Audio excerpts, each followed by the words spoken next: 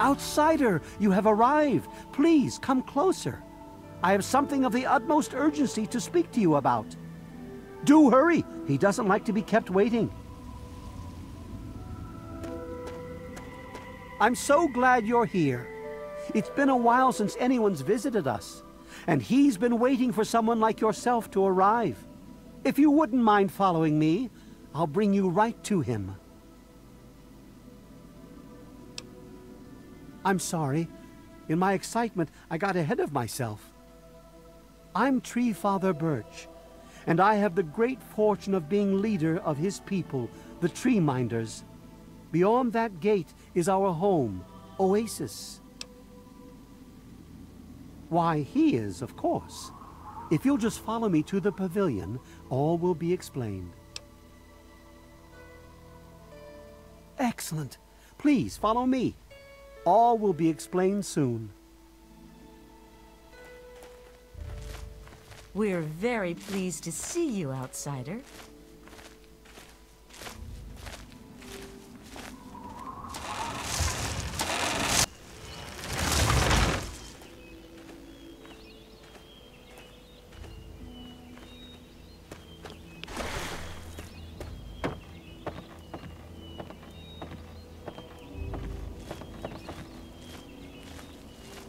We welcome you with outstretched arms.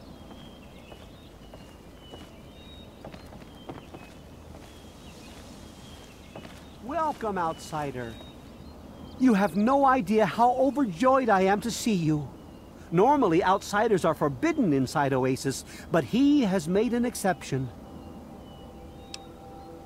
No, I suppose you haven't. In fact, few who live outside of Oasis have. Everything you see around you, from the tallest tree to the smallest blade of grass, is a gift. A gift from him. He's no mere god, my friend. He is the one who grows. He is the one who gives. And he is the one who guides. Thanks to him, the tree minders have a home. I would have preferred that he made the introduction, but I understand your hesitation. The Great One is a God tree. A living, breathing, speaking God tree. The tree minders are blessed to have this being watch over us. We care for this place and keep it safe from those who would seek to exploit it. He gives to us, so we give back to him. It's an arrangement that's worked well for almost two decades. We shun technology and embrace nature. That's the life of a tree minder.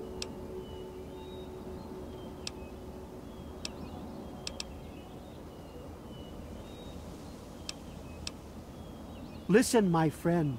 I will forgive your insolent tone because he has asked to see you. But make no mistake, if you wish to cause trouble here, we have the means to defend ourselves. You have much to learn about patience, my friend. However, you are correct. I will get to the point. As you approached Oasis, he said you were coming, and I was sent out to meet you personally with a request. He wishes to meet with you. You'd be the first outsider to do so in a very long time. Yes, person. To meet him, you must undergo the ceremony of purification. Once that's complete, you'll be able to speak to him. Whenever you're ready, we may begin. It's simple, really. You drink the sap from the basin here in the pavilion. The sap will purify your mind and body of anything harmful that could possibly hurt him. I assure you, nothing harmful will happen to you. Very good. Take your place in front of the basin and let's begin.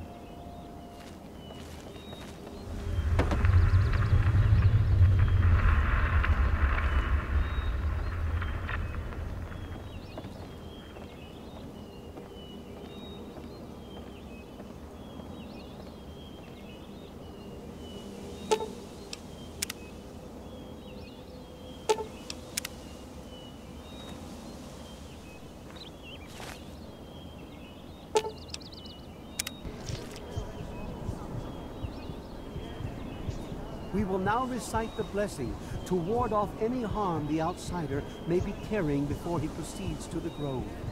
I bid you depart, agents of destruction, through the power of his divine will. Leave our homes and bodies immediately. Live no longer in them, but pass over into places where you can harm no one.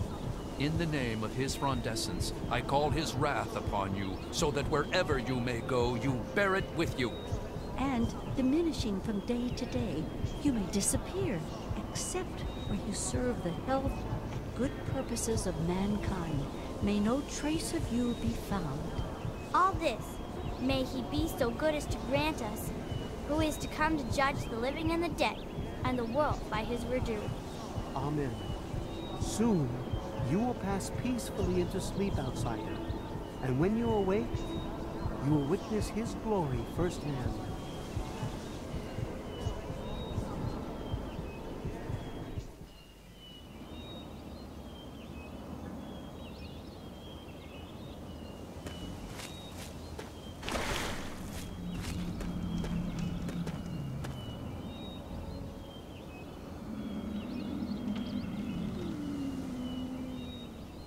Glad to see you're finally awake. I can't believe they made you do that stupid ceremony. they listen when I talk, but they don't hear. You know what I mean?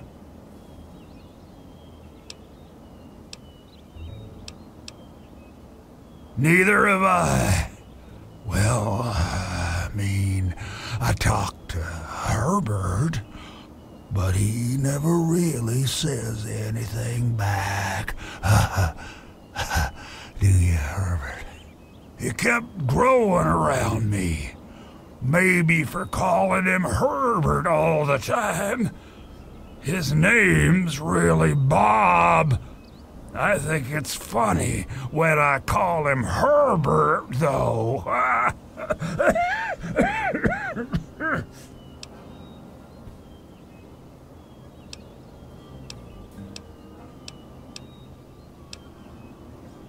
well, I suppose you could look at it that way. See, Bob used to ride around on top of my head sunk his roots right in there, you know. Well, eventually, he got bigger than me, and then I pretty much ended up inside.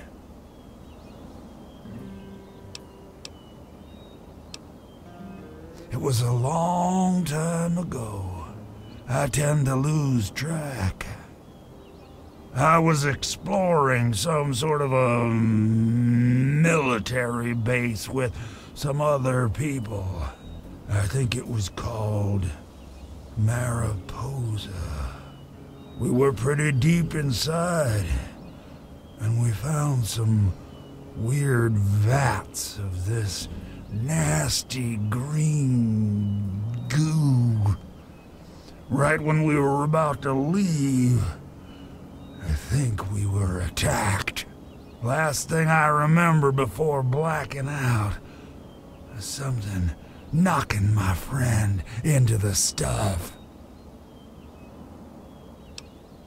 You have no idea how glad I am to hear that. Or we're glad to hear that. Me and Bob. I had you brought in here to ask a very simple favor. Would you please kill me?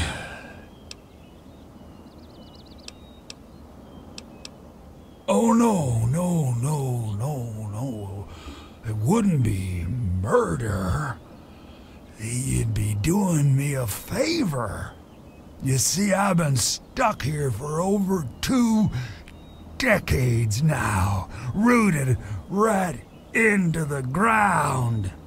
The only friends I've got are Bob and those weirdos out there who think I'm a god.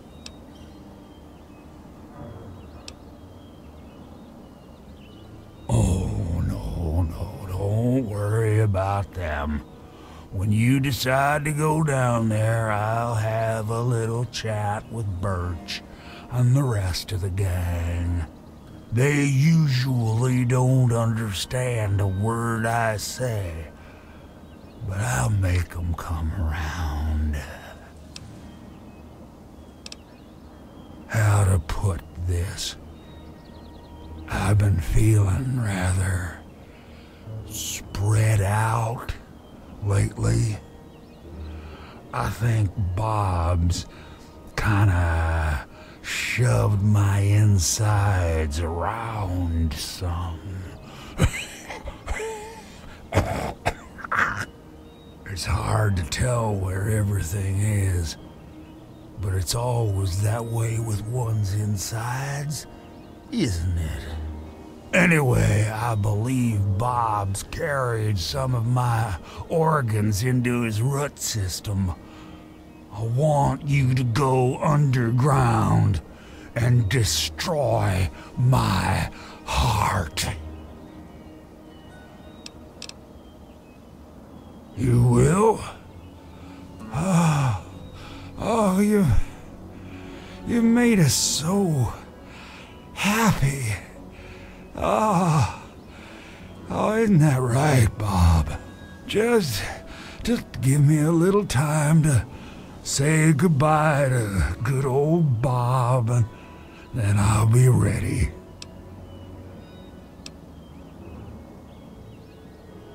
No, no. Herbert is the tree.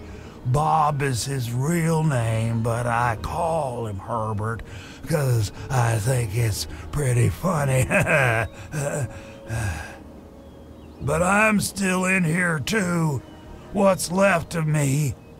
The name's Harold.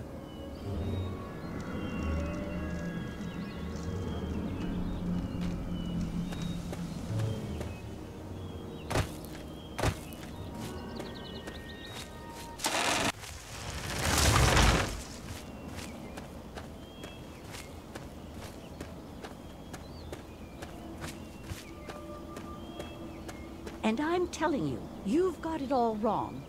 Why else would he have called for an outsider's assistance? The outsider is here to deliver us from our enemies. To keep this place safely locked away from the wasteland, not to exploit us. How can we preach about peace when all you want to do is keep his gift all to ourselves? That's not what he would want. If we allow the spread of this miracle to continue, we're putting him in jeopardy. I can't allow that. I won't allow it. Once again, my husband, we are at an impasse. I suggest we speak to the outsider. Agreed. Why else would the outsider have been allowed into the grove? Perhaps it's a test. Yes, that must be it. I know why you're here, and despite what my wife thinks, I know you'll do what's best for Oasis. After all, he chose you, and he would never want to put us in harm's way.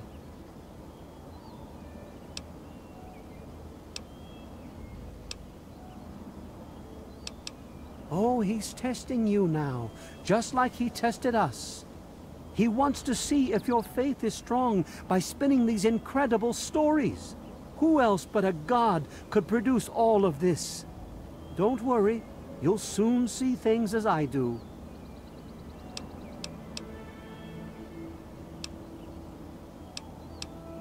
Yes, I've been pondering that riddle myself for some time now, and I think I know what he's trying to tell us. The Great One's influence is growing, and soon it will break free of the confines of this secluded vale. We can't allow Oasis to call attention to itself like that. It would be the end of him. I've had enough of your blasphemy. I've tolerated it this long because you're an outsider, but no more. If you wish to test me again, you'll find yourself banished from Oasis. If the same sap that you drank to purify yourself could be applied to his heart, it should stop the spread. I can promise you no harm would come to him. That's all I ask of you, outsider. Nothing more, nothing less.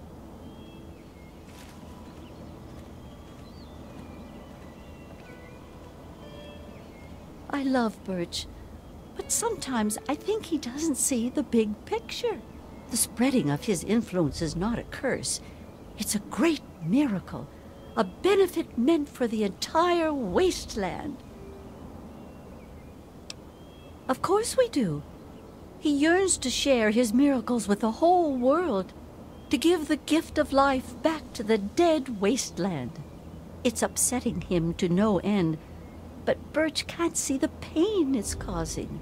But now that you're here, I have a feeling the winds are about to change. I heard what my husband wanted you to do. What I propose is an alternative. The same person that created the sap also created this liniment. If you can reach his heart, it will assist him in making his influence increase. Instead of centuries, the wasteland will become green in mere decades. Just imagine how glorious that would be. Branch Tender Cypress at your service. Welcome to our little home. I wish they wouldn't argue so much. It makes everyone uncomfortable. Sure. Here you go. Good luck to you. Goodbye, outsider.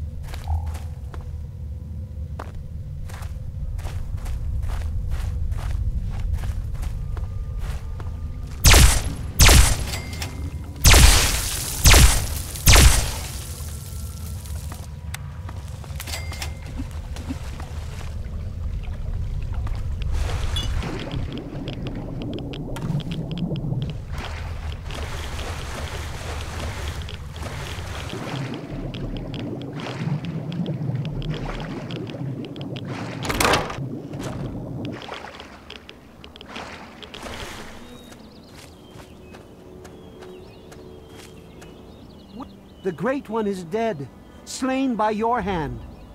Don't worry, I hold no grudge towards you. You'll have to forgive my people at a time like this, outsider. They aren't used to being so lost. And for once, I don't have the words to help them.